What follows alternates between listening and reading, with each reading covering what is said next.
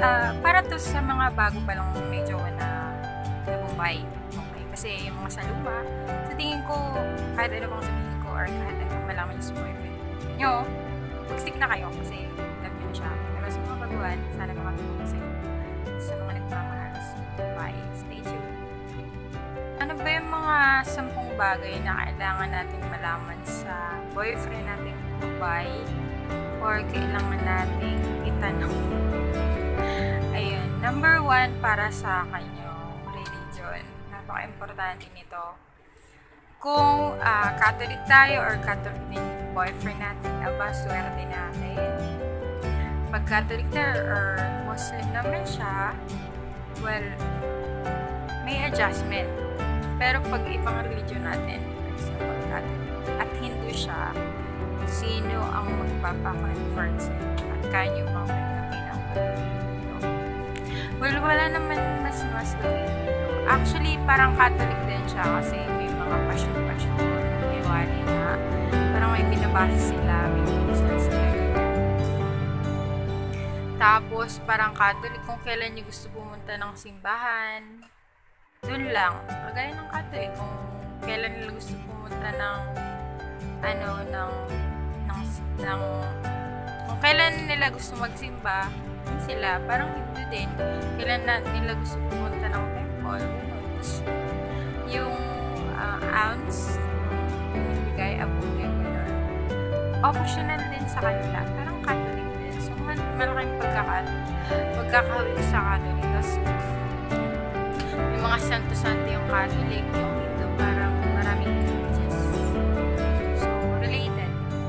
Tapos related din ang Hindu sa Chinese kasi pag nagpe-pray sila, nagsisindi sila ng incense. So, yun. Ganon sila. So, mm, yung take ko dito, uh, tinanong ko ng papa niya kung ano, kung magpapakonvert ako or ano mag-religion ko pag kasi gusto kong maging honest sa sarili ko at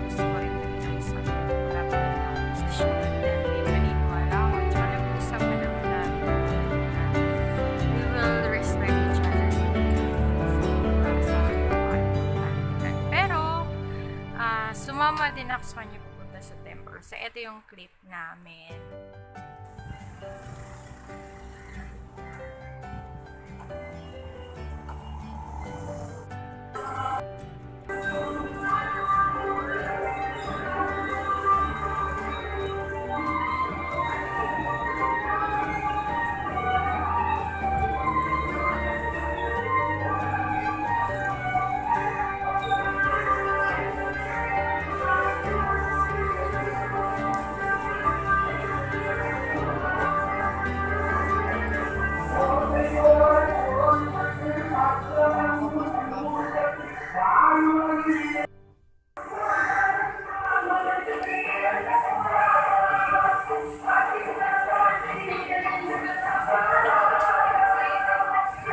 one thing.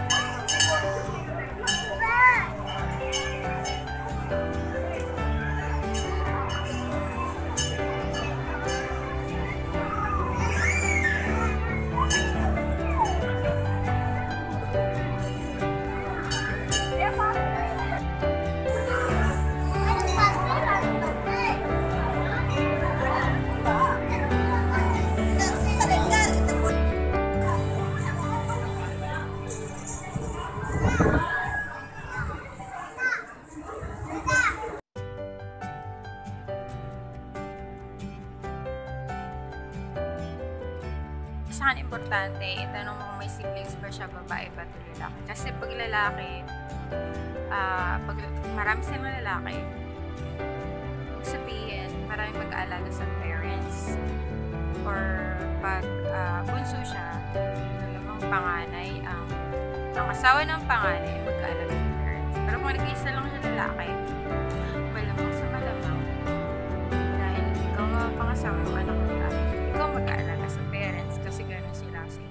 Hindi nila iniwan yung parents nila. Uh, karamihan sila talaga nag-aalaga. So, i-ready mo na sarili mo na ikaw talaga mag-aalaga sa parents niya kung nag-iisa mo siya. Napaka-importante nito. At malaman nyo kung uh, sa family ba niya lahat nag-English or mama niyo lang or yung Napaka-importante kasi mag-isama kayo sa, sa parents niya,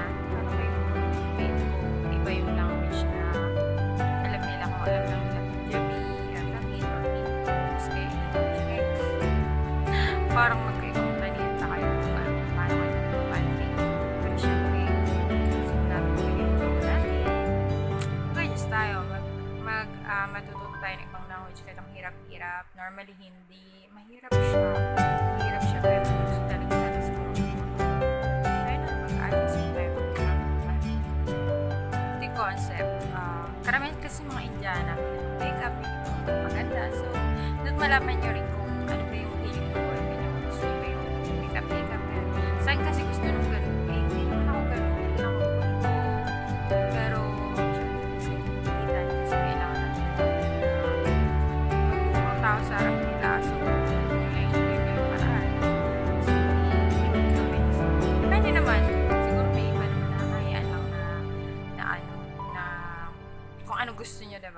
diba? Swerte nyo pag swerte, swerte. Malaman yung role nyo sa family the future. Maging plain housewife ba kayo or pwede din kayo mag-work. Kasi sa India, yung mga conservative family, hindi ko naman nila lahat. Gusto nila housewife lang yung mga babae. Kaya yung iba nga hindi nila pinapag-aaral. Yung mga lalaki lang pinag-aaral na kasi inisip nila mag-aasawa din lang naman at sa bahay lang. Well, kung dito sa Pilipinas, pag sa bahay, siguro naisip yung pedex-pedex. Pero iba sa India, mataas yung expectation nila sa housewife. Kasi, kasi bongga talaga. Magta-transform ka from regular na tao to Darna. Scope compatibility. Ang weird, no? Ang babaw pa. Pero, pinapractice sa India. So, maganda malaman yun na yung compatible yung zodiac sa inyo.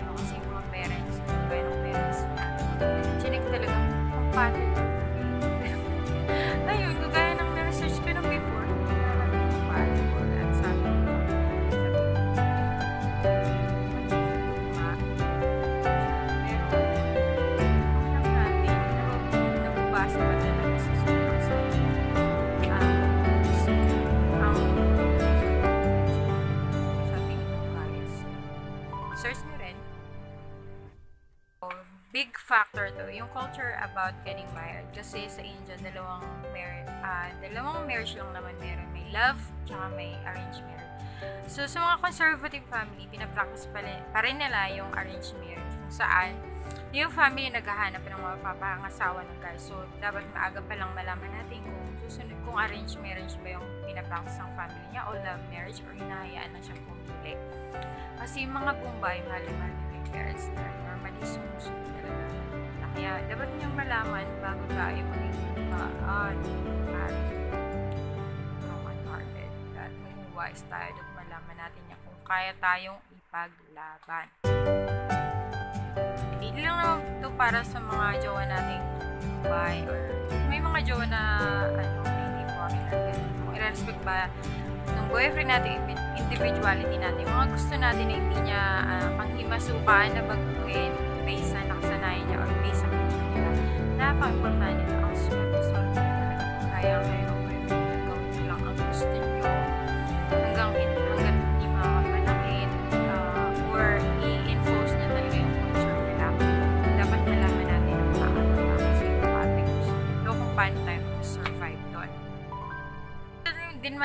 saan ba kayo mag-settle. Kung dito ba sa Pilipinas o sa India or sa ibang bansa. Kasi kung dito sa Pilipinas, syempre chill-chill lang tayo kasi sila makasama.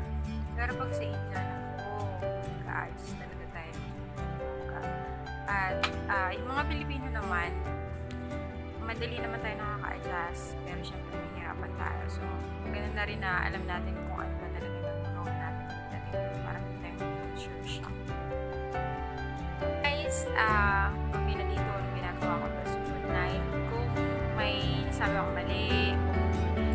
ano, i-comment nyo na lang sa baba at please don't forget to subscribe for more videos. At kung may mga suggestion po kayo sa topic, please, please, please, please mag-comment lang